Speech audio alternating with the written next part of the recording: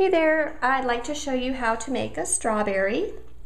It's very quick and easy, so let's get started. We're going to start out with a star shape. So we just have a series of lines that come together like that. That's going to be his little green area. Can put a little stem there.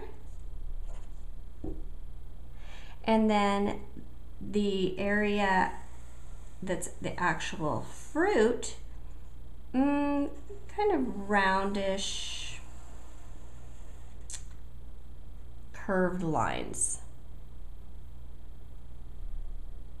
Now I like to put eyeballs on my strawberries to make them look like cartoons. So if you want to skip that part, that's fine. But I like to make giant eyes with eyeballs in the middle. Sometimes even a little smile. And then of course we have the little seeds, just small, tiny little seeds on our strawberry. There you go.